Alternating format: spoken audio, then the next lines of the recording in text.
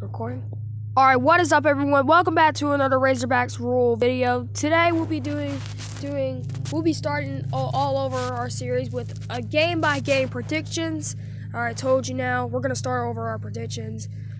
Yeah guys, we're gonna start over our predictions everyone. So guys, alright so guys, I may have changed up my predictions a bit ever since the transfers that we they got. So I may have changed them up a bit, but anyway, let's get on with the season. All right, Alabama starts off first with Miami. Miami's been a good ACC team so far, but I don't think they have the talent for Alabama. So I'm gonna put Alabama, giving them a win right there, and they would improve to one and zero on the year. Merce, and then I'll, I'll give him an easy win over Mercer to prove them to two and zero. Florida, I don't know about them. They they see awful lot to me. I'm gonna give them and give them an L right there, and they'll do the two and one around the year. Anyway, going to Southern Miss. I'll give them a win, so they'll bounce back after the loss to Florida. Now they'll beat Ole Miss. They improved to four and one on the year.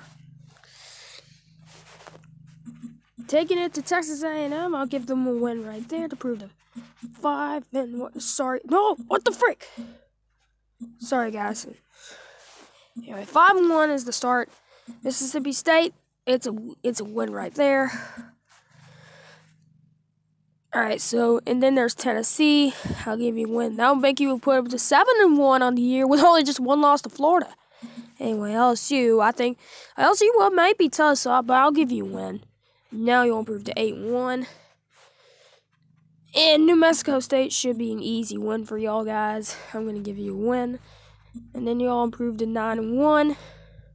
Arkansas, I think you can win that game. I will, you'll win that game. You'll improve to 10 1 on the year. Here comes Auburn. Auburn's a good team. Mm, I'm going to give you. Uh, but, Brian, yeah, you always struggled with Auburn, Gus Malzahn. But now with Gus Malzahn gone. I see Nick Saban having an easy chance. So, win for them right there. And there you have it. I got Alabama going 11 and 1 heading into the year with only one loss to Florida. I think I think this team has the potential to go 12 and 0, but when you look at the schedule, it's going to be it's going to be tough for Alabama to repeat. They got to repeat as national champions. So right now, I'm putting them at 11 and 1 with only one loss to Florida. Up next will be Arkansas.